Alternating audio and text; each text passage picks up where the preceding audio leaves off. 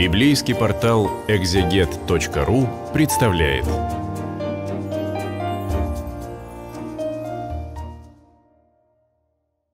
Сегодня на библейском портале «Экзегет» мы продолжаем чтение книги чисел. И сегодня мы будем читать 24 главу этой книги. Здесь продолжается история про Валака и Валаама. Валаам, языческий э, пророк, увидел, что Господу угодно благословлять Израиля, и не пошел, как прежде, для волхования, но обратился лицом своим к пустыне. И взглянул Валаам и увидел Израиля, стоящего по коленам своим, и был на нем Дух Божий.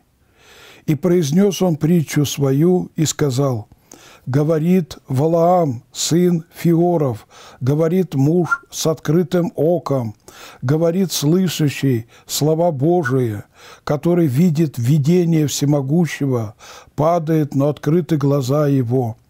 Как прекрасны шатры твои, Иаков, жилища твои, Израиль. Удивительный языческий пророк.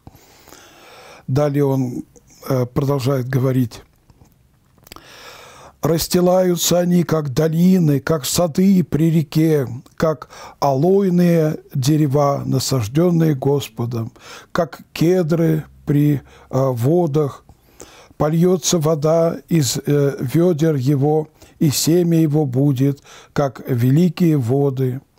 Превзойдет Агага, э, царь его, и возвысится царство его, Бог вывел его из Египта, быстрота единорога у него, пожирает народы, враждебные ему, раздробляет кости их и стрелами своими разит врага.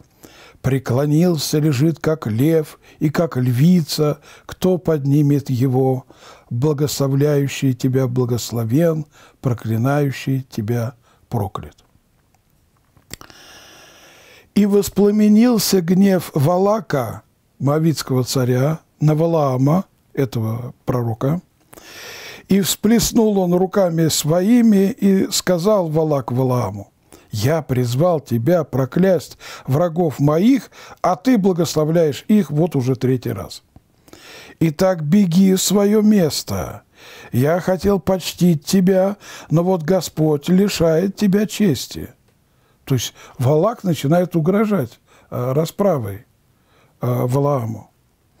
И сказал Валаам Валаку, «Не говорил ли я послам твоим, которых ты посылал ко мне? Хотя бы давал мне Валак полный свой дом серебра и золота, не могу приступить повеления Господня» чтобы сделать что-либо доброе или худое по своему произволу. Что скажет Господь, то буду говорить. Удивительный пример э, нееврейского пророка. Э, он знает имена Бога, он э, преданно служит ему при всех своих недостатках, о которых мы уже говорили. Итак, вот я иду к народу своему. Пойди, я возвещу тебе, что сделает народ сей, то есть еврейский народ, с народом твоим, то есть с мавитянами в последствии времени. Теперь будет э, пророчество э, Валаама о мавитянах.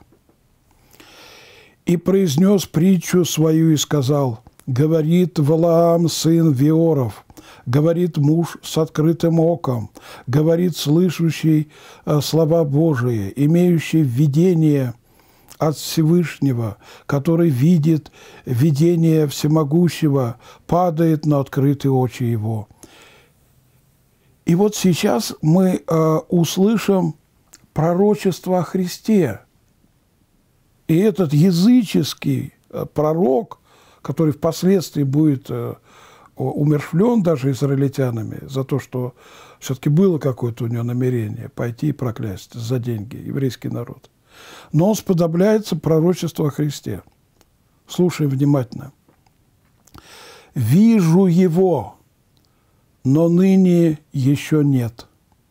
то есть еще не пришел он. Зрю его, но не близко. Восходит звезда от Иакова и восстает жезл Израиля, и разит князей Моава и сокрушает всех сынов Сифовых. Он видит Вифлеемскую звезду. Он видит того, кто еще не воплотился в этом мире. Это чудо. Разит князей Моава – это свидетельство о том, что Христос прекратит языческие жертвоприношения во всем мире. Едом будет под владением, Сиер будет под владением врагов своих, а Израиль явит силу свою. А Христос и приходит в этот мир как свет в откровение языков и славу людей своих Израиля. Пришедший, происшедший от Иакова овладеет и погубит оставшиеся от города. И увидел он Амалика и произнес притчу свою и сказал, первый, что значит увидел он Амалика? Он увидел среди э, людей э, вот этого Мавицкого царя и амаликитян. И увидев, произнес притчу сию и сказал, первый из народов Амалик, но конец его – гибель. И увидел он Кенеев и произнес притчу свою и сказал, крепко жилище твое, и на скале положено гнездо твое, но разорен будет Каин, и э, недолго до того, что Асур уведет тебя э, в плен. И увидел Ога, это э, воин, великан, правитель, произнес притчу свою и сказал, «Горе, горе, кто уцелеет, когда наведет сие Бог.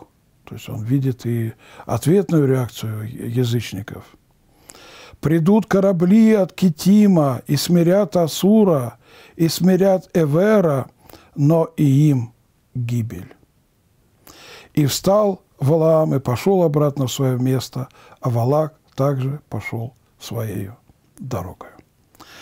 То есть, с одной стороны, созерцание Христа – Э, в его пришествие, когда Рождеству предшествует звезда, видит он, а потом он видит судьбу э, вот этих э, языческих э, народов, которые населяли Ханаан, э, что судьба их будет э, печальна, хотя они одержат какую-то победу в дни Ога, э, царя Васанского, насколько я помню, но потом они проиграют.